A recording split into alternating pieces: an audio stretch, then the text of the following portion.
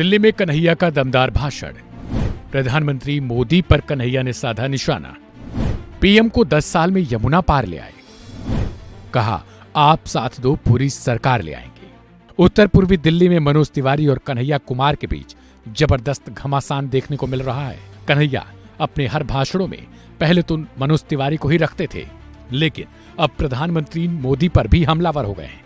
बीते दिनों ही कन्हैया ने मनोज तिवारी को डिबेट के लिए बुलाया था। लेकिन अब उन्होंने फिर एक बार मनोज तिवारी के साथ ही पीएम मोदी पर ज़बरदस्त हमला बोला है। उत्तर पूर्वी दिल्ली लोकसभा सीट से कांग्रेस उम्मीदवार कन्हैया कुमार ने कहा, ये लड़ाई काम करने वाले और बदनाम करने वालों के बीच है। अभी मैं केवल उम्मीदवार हूँ, लेकिन जनता की मोहब्बत का असर देखिए कि 10 दिन के मेरे प्रचार का नतीजा ये है कि आदरणीय प्रधानमंत्री जो 10 साल से दिल्ली में रहते हैं, उन्हें यमुना पार करने में 10 साल लगे हैं। हम अभी केवल प्रधानमंत्री को यमुना पार लेकर आए हैं आप आई एन गठबंधन का समर्थन करें। हम पूरी की पूरी सरकार को यमुना पार लेकर आएँगे। सुनवाते हैं आपको। कन्हैया का वो पूरा बयान। इसीलिए आप सबसे मैं आग्रह करने के लिए आया हूँ कि ये लड़ाई काम करने वाले और बदनाम करने वाले के बीच में है। हमने इस क्षेत्र में काम किया है और हम इस क्षेत्र में काम करेंगे। उन्होंने इस क्षेत्र को बदनाम किया है और इस क्षेत्र को वो बदनाम करेंगे, इसका एक उदाहरण मैं आपको देना चाहता हूँ। अभी तो मैं कुछ बना भी नहीं हूँ। अभी तो मुझे कांग्रेस पार्टी और इंडिया अलायंस ने सिर्फ़ कैंडिडेट बनाया है उत्तर पूर्वी दिल्ली का।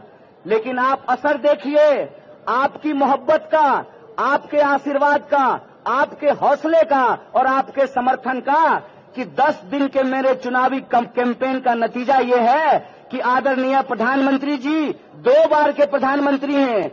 दस साल से दिल्ली लग, रहते हैं और यमुना पार करने में उनको दस साल लगा है। मैं आप सबसे कहना चाहता हूँ कि आप इंडिया अलायंस को सपोर्ट कीजिए।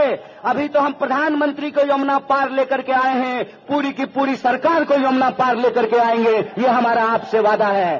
और जिस तरीके से वो अपमानित करते हैं यमुना पार रहने वाले लोगों को मैं तो कहता हूँ मेरा नाम कन्हैया है। गंगा किनारे में पैदा हुआ और यमुना किनारे रहने वाले आप तमाम मतदाताओं ने जिस तरीके से मुझे गल, लगाया है जिस तरीके से आपने आशीर्वाद दिया है हमको पूरा भरोसा है कि यमुना के किनारे रहने वाले लोगों को जो भाजपा अपमानित कर रही है आपको मालूम है जय शाह के पिताजी ने अभी कहा कि इंडिया अलायंस के जो वोटर हैं वो पाकिस्तानी हैं।